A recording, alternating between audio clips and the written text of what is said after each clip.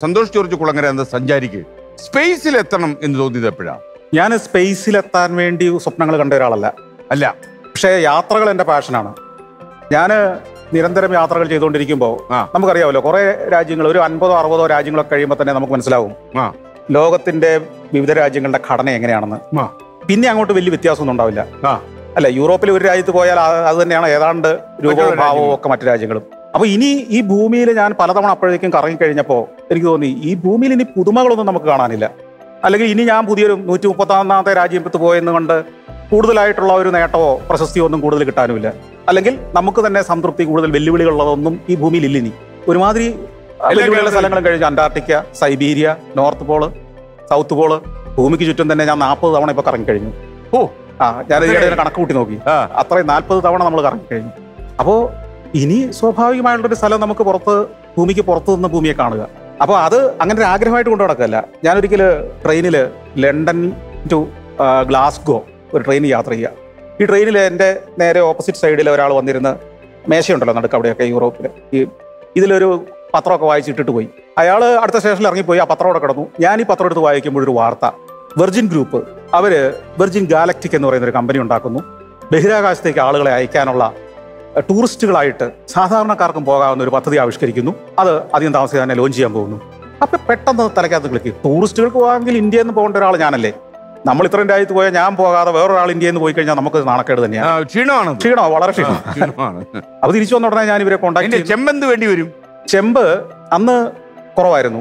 രണ്ട് ലക്ഷം ഡോളർ മതിയായിരുന്നു. അത്രയും മതിയായിരുന്നു. ഒന്നര കോടി രൂപയ്ക്ക് പോയി എത്താം. ആ ഞാനപ്പോ കണക്ക് കൂട്ടി കഴിഞ്ഞപ്പം സ്വാഭാവികമാണ് അന്ന് അന്ന് അത്രയും വേണ്ട. അന്ന് ഏതാണ്ട് നാല്പത് രൂപ താഴെ ഉള്ളൂ ഡോളറിന് വില. ഓക്കെ. കുറെ താഴെയാണ്. താഴെയാണ്. അപ്പൊ ഒരു എൺപത് ലക്ഷം രൂപയാണെങ്കിൽ അന്ന് പോയിട്ട് വരാമായിരുന്നു. ഓ വളരെ കൊള്ളായിരുന്നു. നമുക്കൂടെ ഒന്ന് എന്നിട്ട് താങ്കൾ അത് ബുക്ക് ചെയ്തോ? ബുക്ക് ചെയ്തു. ബുക്ക് ചെയ്യല്ലേ ചെയ്തേ? ആ. സമയത്ത് അത് വളരെ വളരെ സെലക്റ്റഡ് ആയിട്ട് ആളുകൾക്ക് ഈ ഇത് പല ഗ്രൂപ്പുകളാണ് അതായത് ഫൗണ്ടേഴ്സ് പൈനിയേഴ്സ് എന്നൊക്കെ പറഞ്ഞിട്ട് ഈ ആദ്യം പോകുന്നവരാണല്ലോ അതിനകത്തെ അതെ. പിന്നെ പുറകോട്ട് എത്ര വർഷം കഴിഞ്ഞാൽ ആദ്യം അപ്പൊ ഈ ആദ്യത്തേൽ കയറണം നമ്മൾ ആദ്യത്തെ എന്ന് പറഞ്ഞാൽ ആദ്യത്തെ ഒരു ഒറ്റ ഫ്ലൈറ്റ് ആയിരിക്കണമെന്നില്ല. ആദ്യത്തെ ഒരു കുറച്ച് ദിവസങ്ങൾ പോകുന്ന ആദ്യത്തെ ഒരു പത്തോ അൻപതോ പേരിൽ ഒരാളാകുക. അപ്പോൾ ഇവരുമായിട്ട് കോൺടാക്ട് ചെയ്തു. ഇവർ തിരിച്ച് എന്നെ കോൺടാക്ട് ചെയ്ത് ഞാനൊരു മെയിൽ ആദ്യം അയച്ചത്. ഞാനിങ്ങനെ ലോകം മുഴുവൻ സഞ്ചരിക്കുന്ന ഒരു ദൃശ്യ മാധ്യമത്തിന് വേണ്ടി ടെലിവിഷൻ പരിപാടി ആയിട്ട് ട്രാവലോഗ് ചെയ്യുന്ന ആളാണ്. ബഹിരാകാശ യാത്രയുടെ ട്രാവലോഗ് എനിക്ക് ഇന്ത്യക്കാരെ കാണിക്കാൻ താല്പര്യമുണ്ടെന്നൊക്കെ പറഞ്ഞായിരുന്നു മെയിൽ അയച്ചത്. ഏതായാലും മെയിൽ കുറുക്കി കൊണ്ടു. അവർ വിളിച്ചു. ആ. അവരെന്നെ കുറിച്ച് ചോദിച്ചു. ഞാൻ പറഞ്ഞു എനിക്ക് പോകാൻ വലിയ ആഗ്രഹം ഉണ്ടായിട്ടല്ല. രണ്ട് കാര്യങ്ങൾ സംഭവിക്കും. ഒന്ന് എനിക്ക് യാത്ര ചെയ്യണമെങ്കിൽ എന്റെ ക്യാമറ കൂടി അനുവദിക്കണം. ഈ യാത്രയുടെ അനുഭവങ്ങൾ യാത്രക്കുള്ള ഒരുക്കങ്ങൾ പരിശീലനങ്ങൾ ഇതൊക്കെ എനിക്ക് ചിത്രീകരിക്കാനും എന്റെ ആൾക്കാരെ പ്രേക്ഷകരെ കാണിക്കാൻ അനുവദിക്കുകയും ചെയ്യുമെങ്കിൽ ഞാൻ പോരുള്ളൂ. അവർ ശരി. അത് കൊള്ളാം. അവരെ നമുക്ക് ആദ്യം നമ്മളെ അതിലേക്ക് ടീമിലേക്ക് എടുത്തതിന് ശേഷമാണ് ഇത് പറയുന്നത്. ആദ്യം എന്നോട് ചോദിച്ചു എന്തിന് നിങ്ങളെ കൊണ്ടുപോകണം? വേറെ എത്ര പേരെ വേണേൽ കൊണ്ടുപോകാം. നിങ്ങളെക്കാൾ കാശുള്ള ഒരു നാട്ടിലുണ്ടല്ലോ. അപ്പോൾ ഞാൻ പറഞ്ഞു നിങ്ങൾ ഇന്ത്യയിൽ നിന്ന് ഒരാളെ കൊണ്ടുപോയാൽ എന്നെ കൊണ്ടുപോയാൽ ഒരു ഗുണം. ഈ വെർജിൻ ഗാലക്റ്റിക് എന്ന് പറയുന്നത് ഇന്ത്യയിൽ ഒരു ആഘോഷമാവും. നൂറ്റി ഇരുപത് കോടി ജനങ്ങളും എന്നെ ഒരാളെ കൊണ്ടുപോകുന്നതിലൂടെ അത് ഗലാറ്റിക്കിനെ അറിയും.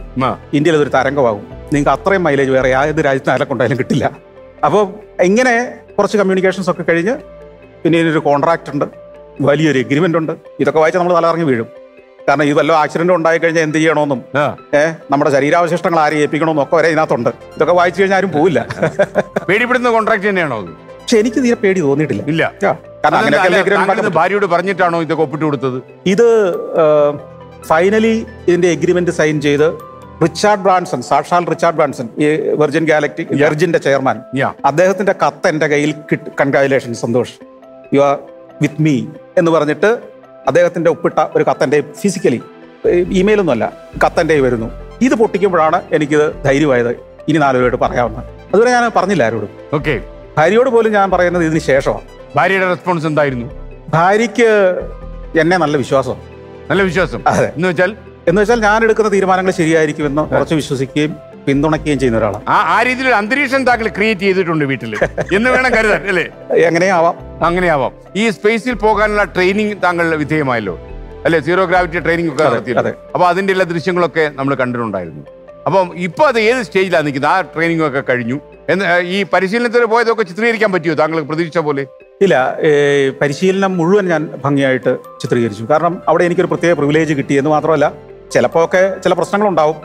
ഈ സീറോ ഗ്രാവിറ്റി ക്രിയേറ്റ് ചെയ്യുന്നത് ഒരു ഒരു വിമാനത്തിനകത്താണ് ആർട്ടിഫിഷ്യലി ക്രിയേറ്റ് ചെയ്യുക. ഈ വിമാനം വളരെ ഉയരത്തിലേക്ക് കൊണ്ടുപോയിട്ട് താഴേക്ക് വീഴിക്കുക വീഴുക ഭാരമേ ഇല്ലല്ലോ ബോഡി അപ്പൊ നമുക്ക് ഭാരമില്ലാതെ നമ്മൾ ഫ്ലോട്ട് ചെയ്യും വിമാനത്തിനകത്ത്. ഫ്ലോട്ട് ചെയ്യുമ്പോൾ നമ്മുടെ ക്യാമറ അതാണ് അതാണ് പ്രശ്നം. ബാക്കിയുള്ളവർക്ക് ഫ്ലോട്ട് ചെയ്താൽ മതി. നമുക്ക് ഫ്ലോട്ട് ചെയ്യുന്ന ഷൂട്ട് ചെയ്യാൻ കൂടെ വേണം. അപ്പൊ ഈ ക്യാമറ ഇതിനകത്ത് തന്നെ പല ക്യാമറകളുണ്ട്. Already fix ചെയ്തതുണ്ട്. പിന്നെ പക്ഷെ നമ്മുടെ കയ്യിലെടുക്കുന്ന ആ ക്യാമറയുടെ ഒരു സുഖം മറ്റേതിൽ കിട്ടില്ലല്ലോ. ആ. ഒരു പേഴ്സണൽ ഷോട്ടുകൾ അതുപോലെ തന്നെ അത് അങ്ങനെ അങ്ങനെ എനിക്ക് ഫ്ലോട്ട് ചെയ്യുന്ന സമയത്ത് ക്യാമറയിൽ ഷൂട്ട് ചെയ്യാൻ എളുപ്പമാണോ? താങ്കൾ കരുതുന്ന പോലെ. പക്ഷേ ഇത് പല പത്ത് നാല്പത് തവണ വീഴുന്നുണ്ട്. അപ്പൊ ആദ്യത്തെ രണ്ടു മൂന്ന് തവണയൊക്കെ നമുക്ക് വലിയ ബുദ്ധിമുട്ടായിട്ട് തോന്നും. പക്ഷെ പിന്നെ നമ്മൾ അതുമായിട്ട് അങ്ങ് പൊരുത്തപ്പെടും. പിന്നെ നമുക്ക് അറിയാം എങ്ങനെ പിടിക്കണം. ഏ വീഴ്ചയിൽ നമുക്ക് പറക്കുമ്പോൾ എങ്ങനെ പിടിച്ചാൽ കിട്ടും. ക്യാമറയ്ക്ക് കുഴപ്പമില്ല നമുക്കേ ഉള്ളൂ കുഴപ്പം. എത്ര ദിവസം എടുത്ത ട്രെയിനിങ് ആയിരുന്നു അത്? അത് സീറോ ഗ്രാവിറ്റിയുടെ ശരിക്കും പറഞ്ഞാൽ മൂന്ന് ദിവസത്തെ ട്രെയിനിങ് ഉണ്ടായിരുന്നുള്ളൂ. ഉണ്ടായിരുന്നു. കാരണം വെച്ച് കഴിഞ്ഞാൽ നമുക്ക് ഇതിനകത്തൊന്നും ചെയ്യാനില്ലല്ലോ. നമ്മളിത് അനുഭവിക്കാനല്ലേ ഉള്ളൂ. അതെ. അനുഭവിക്കുമ്പോൾ നമുക്ക് കുഴപ്പങ്ങൾ ഉണ്ടാവുന്നുണ്ടോ? നമ്മൾ അതിനോട് യോജിച്ചു പോകുന്നുണ്ടോ? നമുക്ക് എന്തെങ്കിലും ശരീരം എങ്ങനെ അസ്വസ്ഥതകൾ ഉണ്ടാകുന്നുണ്ടോ? ഇതൊക്കെ പരിശോധിക്കില്ല. അല്ലാതെ വേറെ ഒന്നും നമുക്ക് നോക്കാനില്ല. അത് കഴിഞ്ഞ് വേറെ ഏതായിരുന്നു ടെസ്റ്റിനകത്ത് ബഹിരാകാശത്ത് പോകണമെങ്കിൽ. നാളെ ഇപ്പൊ ഇത് കണ്ടുകൊണ്ടിരിക്കുന്ന ആർക്കെങ്കിലും പോകണമെന്ന് തോന്നിയാൽ അവരൊരു പ്രിപ്പറേഷൻസ് എടുത്തോട്ടെ തീർച്ചയായിട്ടും. ആ. പോകേണ്ടി വരും. വരും. കാരണം നാളെ ബഹിരാകാശത്തേക്കാണ് എല്ലാവരും പോകാൻ പോകുന്നത്. മാത്രമല്ല എനിക്കൊന്ന് ഇവിടെ ജീവിക്കാൻ പറ്റാത്ത സാഹചര്യം ഉണ്ടാവും. ആ അതും സ്വാഭാവികമായിട്ട് നമ്മൾ ചിലപ്പോൾ പ്രതീക്ഷിക്കാം അപ്പൊ അത്യാവശ്യം കാശുണ്ടെങ്കിൽ പിന്നെ കുറച്ചുകൂടെ സമാധാനമായിട്ട് ജീവിക്കാൻ തീരുമാനിച്ചു കാശ് ഉണ്ടെങ്കിൽ എന്നല്ല കാശ് ഉണ്ടാക്കാൻ പോകേണ്ട ഒരു സ്ഥലമായിട്ട് ബഹിരാകാശം മാറും നാളെ. മാറും. മാറും. അതിപ്പോ തന്നെ മാറി തുടങ്ങി മാറി തുടങ്ങി. ഓക്കെ.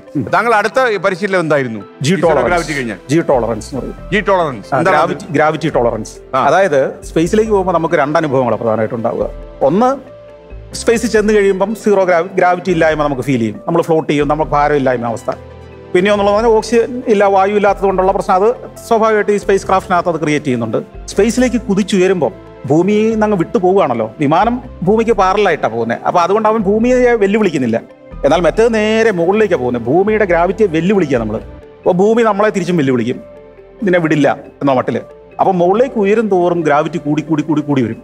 അതായത് ഇപ്പോൾ ഒരു അറുപത്തഞ്ച് കിലോ ഉള്ള ഒരാൾ അല്ലെങ്കിൽ എഴുപത് കിലോ ഉള്ള ഒരാൾ ഉയരും തോറും അത് നൂറ്റി നാൽപ്പതാകും ഇരുന്നൂറ്റി പത്താവും മൂന്നിരട്ടി നാലിരട്ടി അഞ്ചിരട്ടി ആറിരട്ടി ഏഴരട്ടി ചിലപ്പോൾ എട്ടരട്ടിയും കൂടെ കഴിയുമ്പോഴേ നമ്മൾ സ്പേസിലേക്ക് കയറുള്ളൂ മീൻസ് ഗ്രാവിറ്റി കുറഞ്ഞ സ്ഥലത്തേക്ക് കയറുള്ളൂ അപ്പോൾ ഈ ഏഴരട്ടി വരെയൊക്കെ ആകുന്നതിനെ നമുക്ക് വിസ്റ്റാൻഡ് ചെയ്യാൻ പറ്റുമോ?